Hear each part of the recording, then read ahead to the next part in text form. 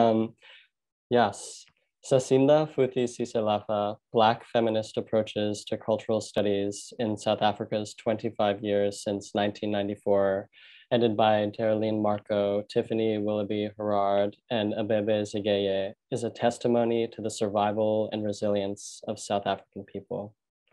Some prominent themes generated by this work that have spoken to me are survival, resilience, remembrance, healing, power, and haunting. Contained in its pages are essays that grapple with these themes through a diversity of mediums of creative expression, including art, film, protest, academic research, and remembrance. The editors have categorized these essays into analyses of visual art and identity, healing, unsettling laughter, and critiques of white writing. The volume concludes with a postscript composed of reflections from undergraduate students at UC Irvine, serving as a metaphysical conversation with Winnie Mandela about her activism and her incarceration. The most potent orientation to Sasinda Futhi Siselapha may be the simple yet multivalent meanings of its title, elaborated by Zethu Cakata in the first pages, Sasinda from Nguni can be translated as we survived. Siselapha means we are still here. As survivors of colonialism, racism, and sexism, the contributors channel this powerful idea. Black South Africans, particularly Black South African women and queer folk, are still here fighting for more than just their lives, but for a new South Africa built by and for African people. The editor's compelling choice to use 1994 in the subtitle instead of post-apartheid, as many of the contributing authors directly and indirectly questioned the veracity of the proclamation of its death. In other words, is apartheid still here? Interconnectivity and polyphony or multiple voices the unity of the volume is that in each piece, is that each piece speaks simultaneously to multiple truths and to the collective we. This we is reinforced on a structural level. The book is a polygraph. Siselapha means we are still here. The essay by Khan explores the plural and singular I in her comparison of two Black South African women visual artists. Marco grapples with how white people see themselves in post-1994 South Africa, positioning themselves within, entangled, within an entangled narrative of suffering with Black South Africans. Siselapha asserts that in plurality, there is power, power to resist, power to create, and power to remember. The themes of remembrance, haunting, and transgenerational dialogues evokes the power of ancestors. Cakata's essay on language addresses the centrality of education, cultural knowledge, and history. I quote, in African, or they quote, in African communities, the death of an elder is likened to the burning of a library. The death of an elder is likened to the burning of a library. Through preserving the memory, teachings, and knowledge of our elders, we not only engage with them in a transgenerational dialogue, summoning them into the present, but also arm ourselves with the tools we need to survive. Molebatsi's essay, Healing Perspectives of a Black Woman Poet, is a moving exploration of the relationship between herself, her daughter, and her mother. Molebatsi writes that time and certain conceptions of temporality insist that the dead and the unborn cannot exist together through the living. She works to keep her grandmother alive and therefore defying this narrative of separateness and transgenerational apartheid through remembrance and sharing her grandmother's lessons and her lessons with her child.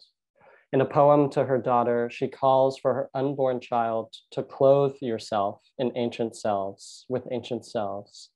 This is a lesson that is repeated throughout the book. In the postscript, Willoughby Herard invites her students to clothe themselves in ancient selves through their reflections on Winnie Mandela.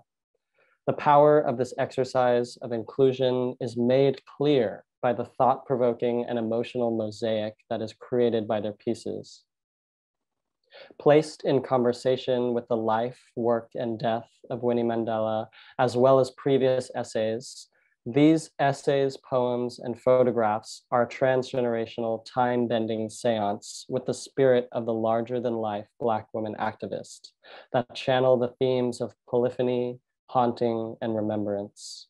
In this exercise, the students clothe themselves in the life, work, and power of Winnie Mandela, summoning her to the world of the living, both as a haunting and as a resurrection.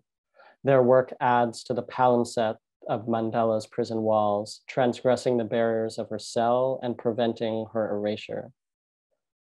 Sasinda Futhi Siselapha is a loud shout, an exclamation of being, of still here-ness that is realized through the author's very presence and creative expressions. In these words and this text, there lies an overarching message of preserving, honoring, and following our Black African women's histories and creative expressions. A little background music, sorry about that, my alarm.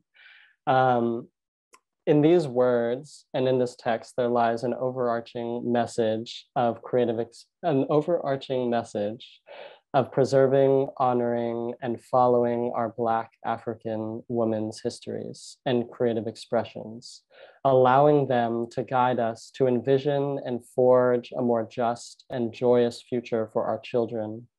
This polygraph is a negation and a refusal of the power of the oppressors of the present and past to exert control over our bodies, our lives, and our futures. The title itself embodies resistance, resilience, and the ongoing survival of Black, Indigenous, South African women. It asks, are the born freers, such as myself, truly born free? As a South African person separated from my country, my culture, and my family because of the violences of apartheid, the investigations and central themes of healing in Siselapha cannot be understated. They have invigorated my own journey of healing and research on the apocalypses and the disconnections that have resulted from the perpetuating atrocities of apartheid, enslavement, and Jim Crow while South Africa is still haunted by apartheid, through the exercises of polyphony and remembrance of our history, we too can create our own haunting. These are just some of the profound and imperative explorations made by the authors within. Thank you so much. It's really incredible listening to how you've interpreted this, Santiago, and and with um, with your critical reading of the work also your personal story right? And that there's this link that you're making that you're inviting us um, in a way to to read with you. Um, and I think when you have been as immersed in in the work as as the three of us have been, it's it's really hard to to see what you see. And so it's it's it's actually um, it is a gift i think it is a gift to be able to to um, to hear this this review. Um, so thank you. Okay so i want you to start by reading some of this um, the well it's part of the notes on terminology. Um, and it's written by you tiffany. And the question is which black feminism and I just want to read a short excerpt from here because I think we're always quick to go to introductions and explaining why books are important or what they're comprised of, and, and we'll get there, right? But I wanted to I wanted us to really kind of take a moment to just um, settle into thinking about the premise of this book that became such a or that was, but certainly cemented itself as such a central feature and place of grounding ourselves not only in thinking, but in terms of our agency and a series of possibilities. Um, and that is Black feminism. And that was in particular for Tiffany and I. Um, and so this book that was a, a long time, uh, uh, you know, in, in its processes of birthing, as Tiffany and I um, eventually spoke about it, um, it is it is very much grounded in black feminism in its various various iterations. So i want to i want to honor that throughout what we do here today but i also want to just honor that in this in this introductory bit that i'm doing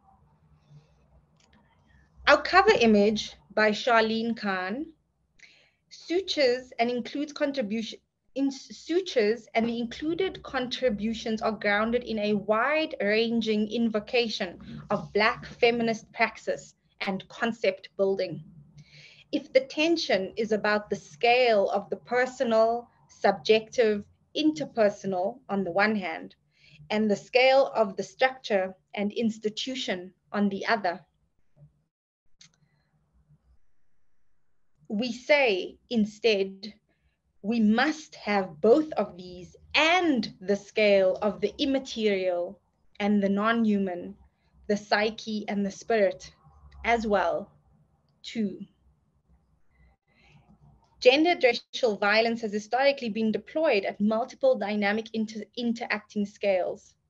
And I, I skip a bit here, I'm still quoting, of structural intersectionality that produce interstitiality, in-betweenness, and a static stationary position where bodies that are gendered as Black are often trapped and carry the tainted markings of immobility. In the contemporary period, power continues to operate through new forms while benefiting from the ongoing legacies of imperial capitalism, militarism, enslavement, segregation, immigration, restriction, medical and pharmaceutical and biopolitical apartheid, detention, and carcerality. In this book, scholars draw on both on genealogies of Black feminisms and women of color feminisms and their concerns with disabusing us of the most damaging features of the institution, institutionalization of gender. So what I what I'm trying to get at, and this is just a, a, a small excerpt from um, from this introductory piece, is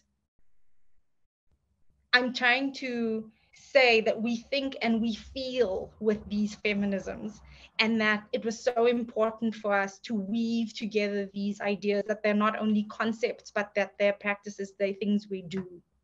And things that well i hope things i hope we do but things that we certainly aspired to in this book. And I think that the contributors, um, the, that the various uh, uh, uh, contributions people have made have woven together to form something that we hope really helps us grapple with where we are at now. So, in the spirit of kicking us off this way, um, I One of the, the, the the interesting things I think that that is done with the book is that we weave together these intergenerational voices, right? And so, I think Tiffany, if you would share with us, um, uh, what what are the what, what is what is your investment in this kind of cross generational conversation and dialogue, um, and what are the stakes of doing this kind of research and work? Um, it's really a delight to be here. You know, in my teaching, I teach in Southern California and I teach in a place that has one of the largest South Asian and Southeast Asian population uh, migration centers after 1965. Um, there is a very large community of Vietnamese Americans here um, who uh, relocated here after, um, you know, what some people call the Indochina Wars, um, but the Vietnam War. And those people moved here, and um, not everybody survived, right? They might be living and walking around on their legs, eh, but they didn't all carry um, their self determining autonomous spirit with them. They just carried their flesh, you know. Um, and one of the things that a colleague of mine in ethnic studies, um, uh, an archivist, Thuy Vo Dang, um, contributed to several years ago was the founding and building of a Southeast Asian oral history archive on our campus. And it kind of echoes other multicultural um, digital and physical archives that exist um, around the county to try to track and trace um, experiences of displacement. Um, but I always send my students to that archive, regardless of their background, because just because you live in an intergenerational household or family or kin network doesn't mean that the people who are closest to you, like at arm's reach, are able to tell you what it meant to survive the horror of the Vietnam War or the horror of apartheid or the horror of enslavement, right? It might be, you know, kind of um, Yvette Christianse style those horrors might be walking around um, and be more activated than the, the physical material people around you, right? You might experience your grandmother's trauma. Um, and yet, and still, you need some translation of that. And so the reason why I send my students to that oral history archive is because I need them to be able to um, access um, in easier ways and in more tangible, concrete, material ways the stories that maybe their own family members can't, you know, articulate. So, you know, mm-hmm. you're walking through, you know, a Toni Morrison beloved sort of house growing up as a child, right? And you are feeling the pressure of ghosts around you but there may not be another person from that earlier generation to tell you why is the house so charged why when we sit down to these intimate family discussions or when we try to experience a milestone you know a wedding or a bar mitzvah or a, why is everything so charged and these cross generational oral history kinds of work and just inviting um, people into a cross generational conversation means that you have some translation that happens. Mm-hmm. So you can mm-hmm. get that vocabulary, you can get analytics, you can come to understand that um, you know what we survived with. You have choices about how to experience and how to not experience. So that was a very like heady and theoretical way to do this, but part of that cross generational work comes from um, or that commitment to that ethic for me um, is something that I was trained in. That's how I was socialized as part of the African diaspora. Um, you know, I was 11 and my grandmother gave me a book by Ruth Butler Brown called Love My Children. And in the book, um, you know, it's a Black woman from the US South who experienced the Rose, Rosenwald schools. Rosenwald Fund was a philanthropy that built, I mean, hundreds and hundreds of the first public schools that uh, Black people in the US South were able to go to and attend these little rural, you know, one room schoolhouses. I'm 11, right? When I think about my own children who are 11, you know, the expectations of my literacy rate were so high that my grandmother was like, You're 11, you need to read a history of this Black woman, this memoir, talking about a whole history of philanthropy and how Black teachers created alternatives to education in the midst of a segregated society, right? Mm-hmm. And a racialized world of captivity. Mm. But that insistence that at 11, whatever my literacy rate was, I needed to be speaking to people from my grandmother's generation was a very powerful political consciousness raising and political socialization expectation. And so in this book, um, whether it's the intellectual generations that you and I have to leap across, or whether it's the you know you were trained in one part of the world and i was trained in another part of the world um, kind of intellectual genealogical uh, crossings that have to happen it was mm-hmm. really really important for me that um, the quote unquote born free generation um, have access to more of those complicated stories from the struggle generation that weren't just demonized stories, that weren't just caricatured stories, and mm-hmm. might live with movement people. And because of what they survived, um, or what they witnessed, or what they had to participate in as part of like ending colonialism, right? They may not be the nicest, easiest people to be around, but I wanted to cite, um, I wanted to cite our readers next to the liberatory imaginary and possibility of those mm-hmm. people, of those other generations.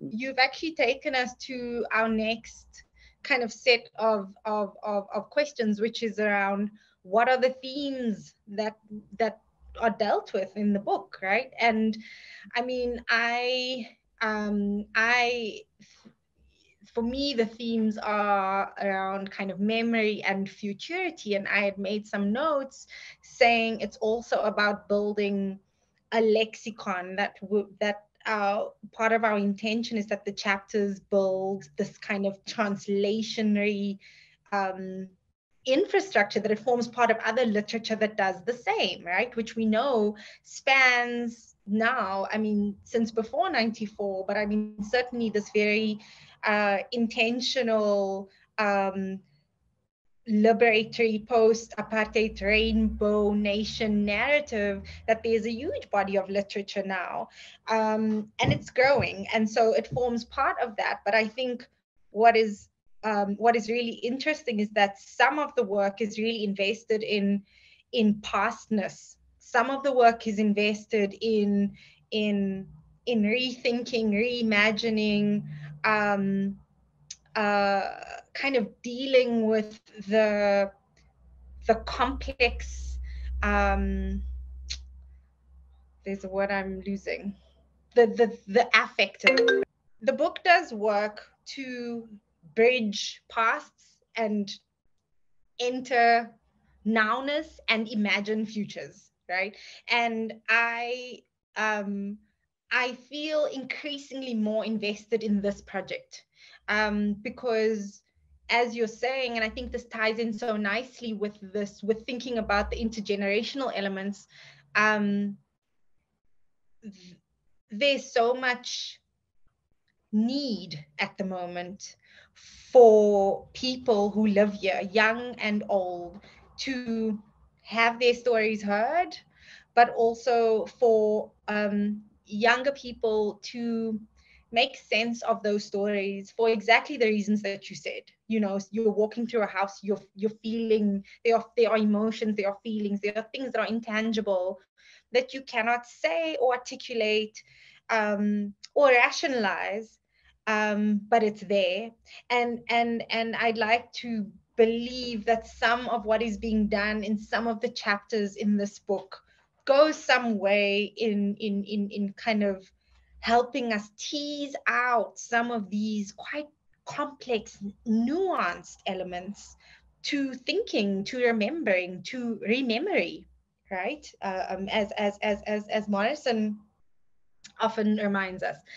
Um, so for me, those are the big themes of the book, really. It's about building, it's about transla- translation, but it's also about building new language, new building bridges so people understand each other because there's a lot that is not understood, that is simply not known. Um, and so, even for me personally, um, I, I mean, my own research is kind of moving into what I find quite interesting, but even further personal terrain around unpacking ancestors, where they've come from, the the kind of geographies that they've traversed in the Western Cape in particular. And I just think about how relevant this is to so many communities around this country.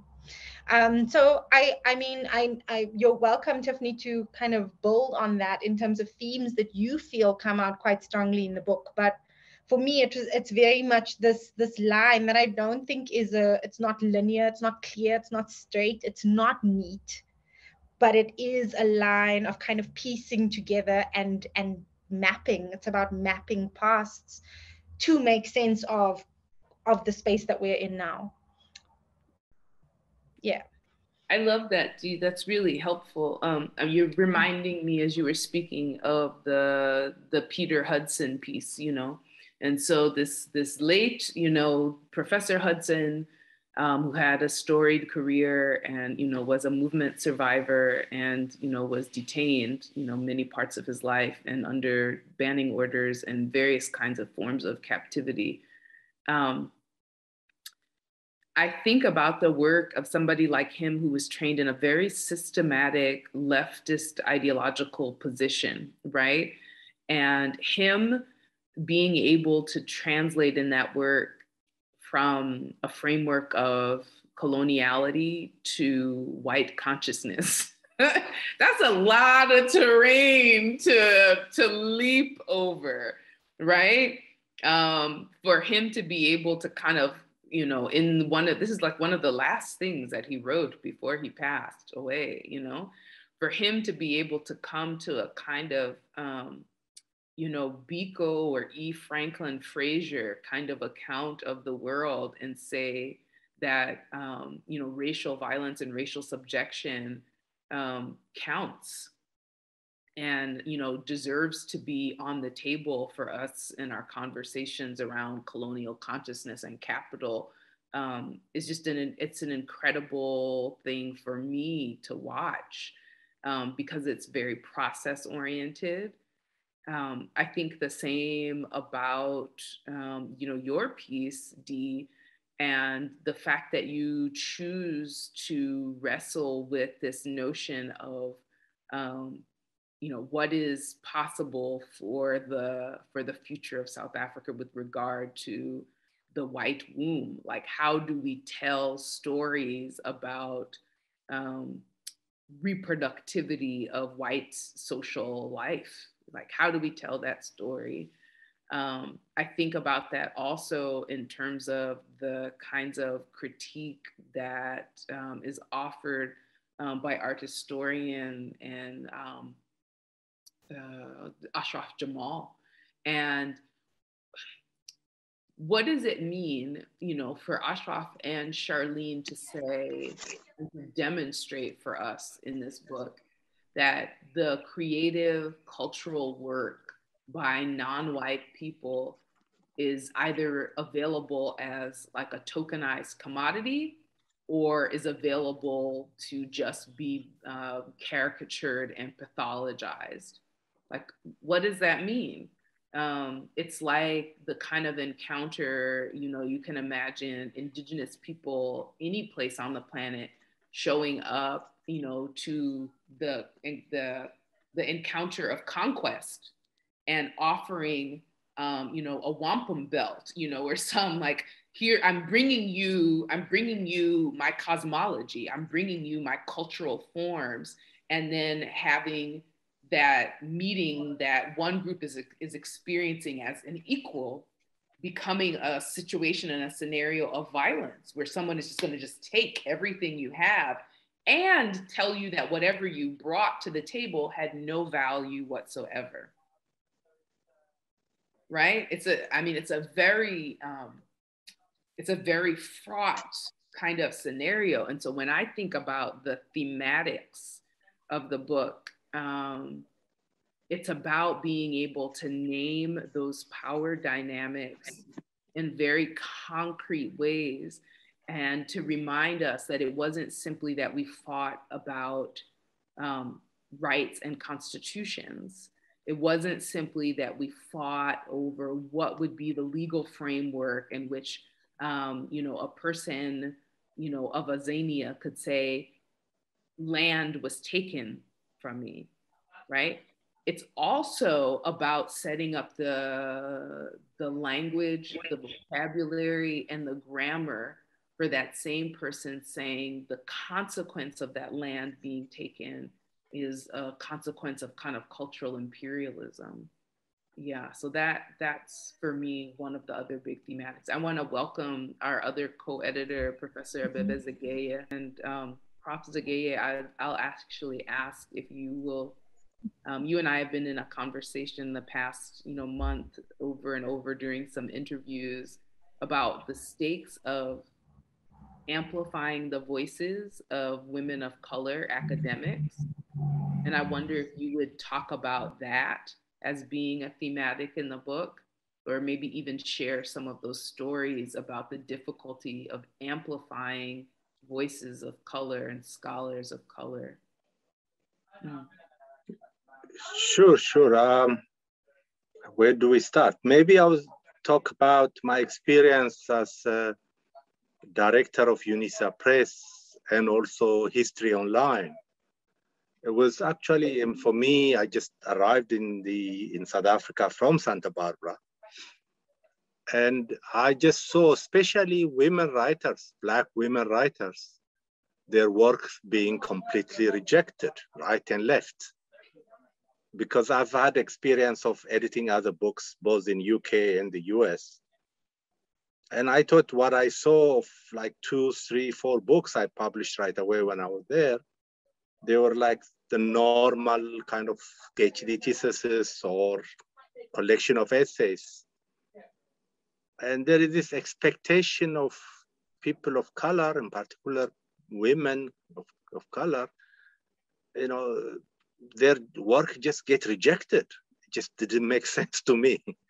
then I start talking to them, start reading the papers, and we just have to find a way of presenting them. And interestingly, those books we publish became kind of the cornerstone of interpretation of color identity, uh, uh, all kind of issues. It just became, I mean, I'm talking about Zimitri's book, for instance, Zimitri Erasmus. I don't know where she is now, but she used to be, I think at the University of Western Cape. She's at Wits. Okay, okay. Uh, and you know, it was I was just quite surprised because I read the whole essays that different people who contributed, and my rule always have been you know, what is the content? What, what are they saying, which is important? And it was clear to me they were saying something interesting, something new, new interpretation.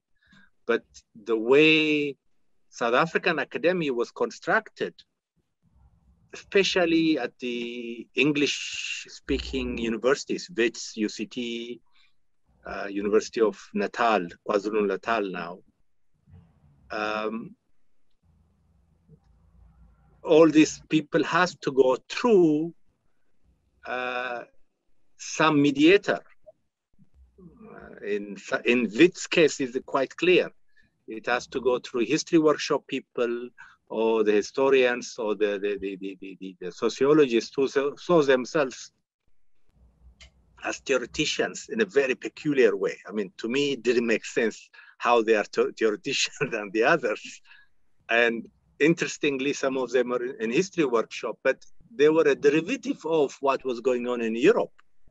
That they hide in one way or the other, because I was a member of history workshop in Oxford at Ruskin College, which was kind of the forefront of fighting Thatcherism when I was a student here, around 79, 80, 80 up to uh, 84, 85. For I understood what history workshop was doing, but the variety which was brought into South Africa through history workshop was certain kind of interpretation. And unless you follow their quote unquote political line, you're not published. So Zimitri books came out. Yes, it needed a lot of intervention, it needed a lot of work. Luckily, we had access to uh, NRF, and there was a guy by the name uh, Robert Kriger, who was kind of hold the funding for it. Therefore, he made it available for us. We managed to publish her, her, her collection. And I think, I mean, that book is the best example where now everybody who writes about color identity uh, writes about it, uh, used it. The, the person who wrote about it was, was this guy called Ian Goldin, who wrote a book on color identity, which was the most insignificant book. I mean, he's my friend. I should not be saying that, but I mean, I know his thesis, we were graduate students together in England. That book was not an important book in terms of saying something interesting. Here is Zimitri. with her all colleagues, she brought in this all kind of interesting people and became the definitive work of that time. And I still people, I, I think Dee could tell person that people are still using it as, as reference. The other one was um, on Indian identity, Indian South African identity by Rehana Vally. Again, these people were, I mean, this, this black intellectuals were a product of the apartheid system. Rehana was based at University of um, uh, in Durban. What was the university name? Now it become part in uh, Westville. The, the, yeah, Westville. She didn't speak. From what I remember, she didn't speak a word of French, and she got a scholarship to go to Paris learn French and wrote PhD thesis in French. For one, begin to see there are very few people who do that, that kind of skill. But again, she was marginalized. She was trained as an anthropologist. I think now she's back in, uh, I think at University of Pretoria now. Again, her books became important. For our book, our collected book is, uh, to me at least, is an extension of that, an extension of enabling uh, South African and other African writers to have a voice.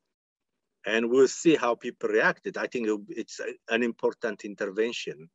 Uh, it brought in new people, new people who are seen in the margin of academia, in the margin of quote unquote knowledge production. Uh, knowledge production in South Africa still goes, I mean, again, Dee is in the midst of it, I'm not, uh, is, is a product of certain institution. It has to come out, out of about half a dozen universities and they have a say of what is right and what is wrong. I mean, the one I mentioned, this, the English medium schools now, University of Pretoria, Stellenbosch, and some of maybe Free State see themselves as the leading force. And unfortunately, you know, the, the, the, the, the, what we try to do should, be, should have been done by place like Fort Hare, because Fort Hare uh, kept its own independence. It's one of the few uh, black universities which kept its identity. The others were forced to merge. They became um, Western Cape as well, I'm sorry, Western Cape and, and, and Fort Hare. The rest became, were absorbed by this institution, like University Pretoria took some of them, UNISA took another one. All this quote unquote in the name of change and high, high, you know, in the name of change and um, uh, high quality production of knowledge, the places where there would have been proper voices were marginalized or they, they, they disappeared. I had a question for you, Dee, about um, the place you were as a scholar when you wrote the chapter about Coetzee's film and the questions you were wrestling with and why you prioritize that particular film at that place in your career. And I, am trying to be mindful of our time because I don't know where mm-hmm. we are in terms of our time, and I want to make sure that um, you know our emerging scholar, you know, future Dr. Roman has a chance to actually jump in here but please, please go ahead. Okay. Um, I'll try to be brief because I also um, I also really want to for Santiago to have enough time. Um, so that's a really interesting question, um, Tiffany. It you know, I the the the the chapter comes from a chapter that I worked on for my PhD, which was part of asking questions about, um, in particular, um, rape. Um, so I don't want to say gender-based violence, but in particular, this idea of rape as an act, as a violent act, um, in a kind of post-apartheid space in South Africa. And the the chapter was comprised of there, there were other films that I spoke about in this chapter as well. Um, and of course, you know, I mean, there are a number of directions these things can go, but I remember the tension um, about this decision that I had to make about writing about the rape of white bodies and not women of color, where I had prefaced this both thematically, theoretically, and you know, and other and in other ways throughout the project. And I you know, it, I, I really struggled with it because, of course, it's an adaptation, right? The, the film Disgrace is an adaptation of Coetzee's Disgrace. Um, and it was it was this particular scene, and then there was a scene in a film by Oliver Hermanus called Skoonheid. The English um, release is called Beauty, and it's it's also about a, a middle-aged um, white man living in post-apartheid South Africa, trying to make sense of himself and and where he belongs. And I, I really really kind of wrestled with this thing like why preface whiteness in this way in this project that is you know i mean so so personal as as as, as many of you will know through your own journeys of writing and research. Um, and so i was in i was in a very particular place that i felt spoke back looking back now i feel it was it was such a reflection of really dealing with the tensions of what i was writing about what the larger project was about which was what the hell is going on here? You know what is going on here? What are the sensibilities we're trying to make sense of? And and and trying to find a way to articulate the really difficult things that one cannot say. And i found that through watching films i was able to kind of unpack some of that but this chapter you know it still haunts me actually you know um, when i read meg samuelson's um, uh, uh, work on she writes, I, I quote it in this chapter, um, she, she writes about Lucy's soiled womb, right, through this act of the rape. Um, you know, it really sat with me, this, uh, this, the way in which these young men are pitted against this, this white woman who's, who, who works so hard to prove that she belongs here, um, to the point where she's she's almost you know the the the the, the becoming pregnant the the the carrying the pregnancy and the heaviness of, of of of that in in its physical form but also all the kind of metaphors that go with with pregnancy that this was a a way of apologizing you know like i still cannot quite get my head around that so it's it's interesting you ask me that because it really when we spoke about it um, um, um, earlier this week, it really forced me to go back to that place, but it also reminded me so much of how um, how present that question still is.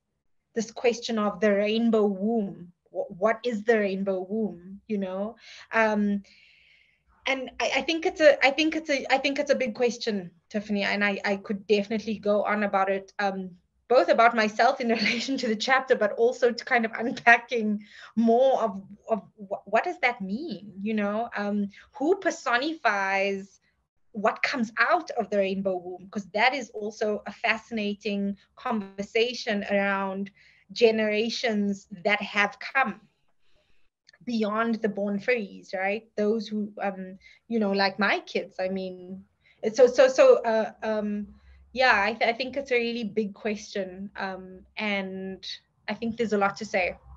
It's actually interesting. The other day, everybody was surprised with the new, the, the person who got the Nobel Prize for Literature. I mean, people were shocked because all of us who thought it would be Ngugi. But Ngugi is too political. He's refused to write in English, so he has no chance of getting it, even though he deserved it. But what's interesting about this guy from Zanzibar was uh, it's it just uh, a thing. You see, uh, which brings me to South Africa in a very kind of roundabout. It's like what Dee was talking about, yes, about disgrace in the book, but more importantly about the film in her paper. what Robert Muponde talks about, what he calls white reading about Zimbabweans and uh, Rhodesians, Zimbabweans, and white South Africans. And the, the, the, the assuring thing about getting this Nobel Prize is that the world is moving away from that. I mean, people, the, at least the people in, in, in, in Scandinavia think now Africans can speak for themselves. And that is yet to be seen in South African context. I, I must say, actually, I might as well, uh, I think people were very surprised with these theses because she's writing about disgrace. It has become that text and that person symbolize white writing, if you want. And he got the Nobel Prize for it. Uh, the same thing with uh, Tiffany's work about white poverty. For whites refused to be, you know, they always saw themselves as interpreting Africans. They are the interpret. They are the medium to to the West, especially to Europe. That is beginning to be shaken up Uh, in a very interesting way. Therefore, this book is an attempt to do that. I think it would be interesting how people will respond. The initial response would be from, I think, the, uh, at least those institutions I mentioned would try to ignore it. But eventually, the younger people would begin, will read it and we use it as such. And if that happens, we have succeeded. I mean, that's, you know, we, we were writing for that group. We're writing for people to, not that we, we have this, you know, we're not claiming we have privileged knowledge, but we have certain things to say and we're saying it. And I think young people will pick it up. And uh, as I'm, uh, you know, I'm having difficulty not to get involved in South Africa for the last 10 years because I've been traveling around, I've been working on Ethiopia, all kind of issues. But I'm drawn back again and again to South Africa. And I'm actually going back to South Africa soon. For I'll be engaging in this thing. For working with both Tiffany and Dee has been brilliant for me because it's forced me to think through that. I went, you know, I was, I arrived in South Africa when Mandela was the president. I arrived in 96 in South Africa and stayed for a, a, period of time. And many people thought I've gone soft in my head because I left this beautiful, beautiful university in Santa Barbara where people like uh, Tiffany would come uh, would come to class with their uh, from the beach with their uh, clothes, what uh, not proper clothes. What do you call those things? and people, but my it's been the most in, you know the most enriching being in South Africa because I was I was immersed in South African issues for the you know then and now as well. For hopefully this book is a big you know people will begin to think differently for and the younger generation of South Africans will begin to read that. That's why I was very taken by Santiago that actually Santiago is half of my, not half, a third of my age, most likely. Therefore, I'm glad to read, to see that reading. For I'm very, very happy to do so. Uh, I think I'll, I'll, I'll stop there.